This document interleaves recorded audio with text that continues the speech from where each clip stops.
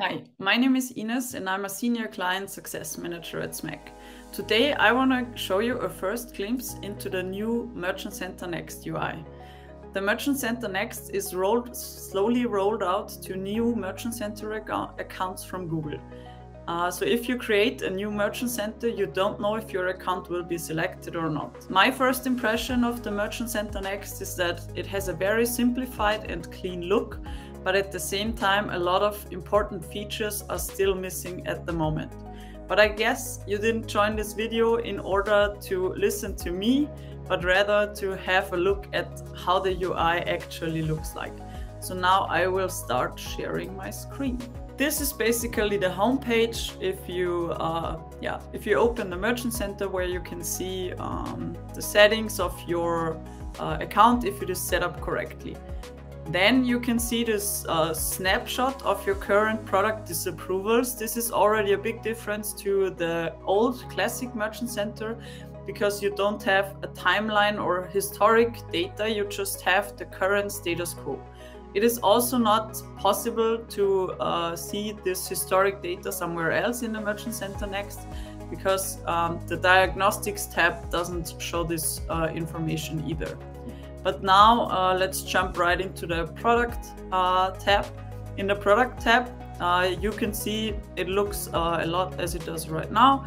You have this product overview, um, but some of the filters are missing.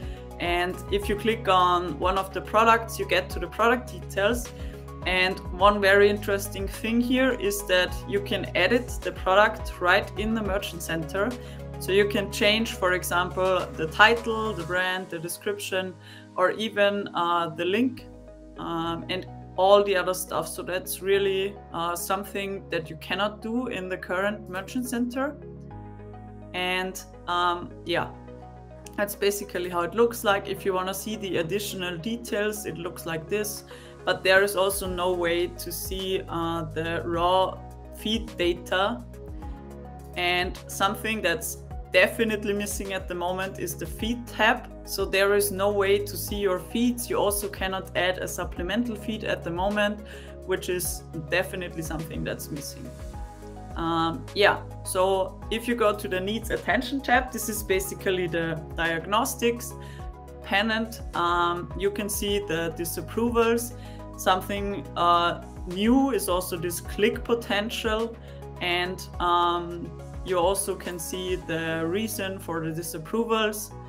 So uh, what is this click potential? Uh, basically, it just shows compared to your other products if Google thinks the click potential is high or low. And then something that is missing right now is the growth tab. It uh, is not there at all. So there is uh, no price competitiveness report, no program like the merchant promotions, or also the customer reviews or the bestseller report. So this is um, something that's missing right now. You also have the business details in here, so it's not on top at the settings anymore. The settings are just language, time zone, and CSS information.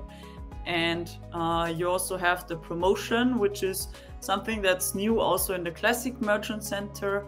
And in the performance tab you can see um, some product performance insights uh, and market insights which show you the most popular products at the moment and new brands uh, and products that customers are interested in and also the trending brands on Google at the moment for the country but you cannot change the time range in here yeah so uh, that was my first glimpse into the Merchant Center. I hope you liked it and uh, please follow us on any social media channels. You can also reach out to me if you have any questions or check out smarter-ecommerce.com. Price open for new features and let's exchange about the new incarnation of the Merchant Center. Thank you and bye.